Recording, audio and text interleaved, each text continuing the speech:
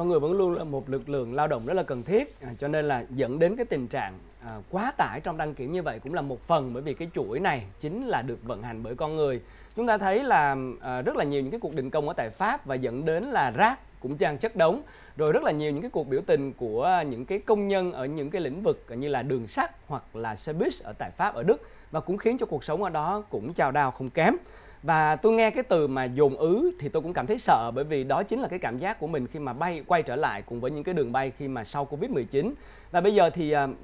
30 tháng 4, 1 tháng 5 cũng đang sắp tới rồi. Và cái tình trạng ủng tắc này không biết có diễn ra hay không. Tuy nhiên vé máy bay thì đang ở tình trạng rất cao. Theo luận quy luật thì hàng năm này giá máy bay sẽ tiếp tục tăng nhưng mà năm nay thì giá vé sẽ tiếp tục tăng mà tăng gần như là kỷ lục luôn mà không có dấu hiệu hạ nhiệt và càng đến ngày dịp nghỉ lễ 30 tháng 4 1 tháng 5 tức là chỉ còn khoảng 2 tuần nữa thôi thì à, giá vé vẫn tiếp tục ở trên mức cao và không hề nhúc nhích xuống.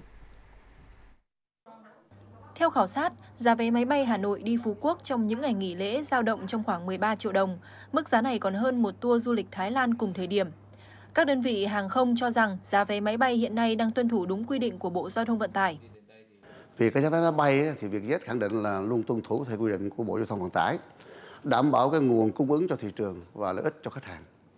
Nếu so sánh cái giá vé máy bay của đợt thấp điểm và cũng như là mùa cao điểm thì sẽ thấy rằng là giá có tăng trong cái mùa này. Tuy nhiên, đây là cái điều bình thường trong cái thị trường. Vì không chỉ giá vé máy bay đâu mà tất cả các cái sản phẩm du lịch khác, sản phẩm dịch vụ trong dịp lễ này đều tăng cả. Cũng theo hãng hàng không này cho biết, ngành hàng không đang giải một bài toán khó vừa kích cầu tăng trưởng du lịch, đồng thời đảm bảo hoạt động kinh doanh doanh nghiệp, đặc biệt là trong giai đoạn du lịch đang phục hồi. Do đó, giá vé máy bay sẽ có những thay đổi. Trong suốt 2 năm qua, ngoài cái tác động của đại dịch thì các hãng hàng không chúng tôi là cũng như là hàng không trên toàn cầu nói chung và Việt Nam nói riêng đã trải qua những cái đợt biến động rất lớn về cái giá nhiên liệu nó leo thang rồi những cái bất ổn về về chính trị rồi trên lệch ngoại tệ cũng như là lãi suất vay nó tăng lên rất nhiều. Mặt khác thì phần lớn các hoạt động thuê mua tàu bay, thuê dịch vụ về nhân sự bảo dưỡng, kỹ thuật vân vân cũng đều chi trả bằng ngoại tệ cả. Cho nên cái việc tăng lãi suất và cái việc chênh lệch tỷ giá ngoại tệ hiện nay cũng khiến cho hãng hàng không chúng tôi gặp nhiều cái cái khó khăn.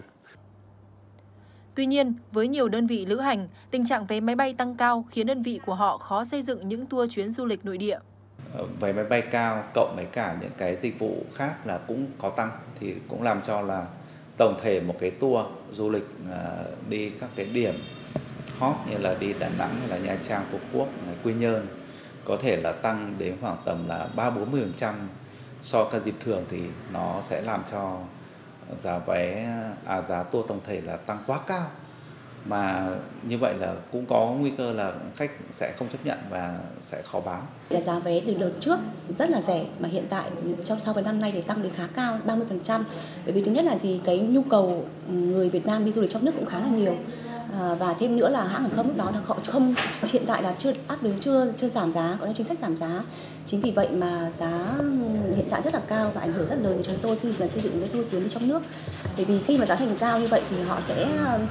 có khi là họ sẽ sử dụng là họ chỉ, chỉ đi nghỉ dưỡng ở những điểm xung quanh ở Hà Nội thôi chứ họ không sử dụng cái chuyến bay mà sử dụng vé bay. Cục Hàng không Việt Nam xác nhận từ tháng 4 tới hết tháng 8 năm 2023, gồm cả dịp lễ 30 tháng 4 mùng 1 tháng 5, mỗi ngày sân bay Tân Sơn Nhất được điều phối 948 chuyến bay cất cánh, hạ cánh. Hiện các hãng đã xác nhận khai thác 843 chuyến một ngày, chỉ còn chống hơn 100 chuyến một ngày. Tương tự tại sân bay Nội Bài, hiện các hãng đã xác nhận khai thác 719 chuyến một ngày, chỉ còn chống hơn 120 chuyến một ngày. Với sự quá tải tại các hãng hàng không, dự kiến thời gian tới vé máy bay sẽ không hề rẻ khi du khách mong muốn đi du lịch nội địa.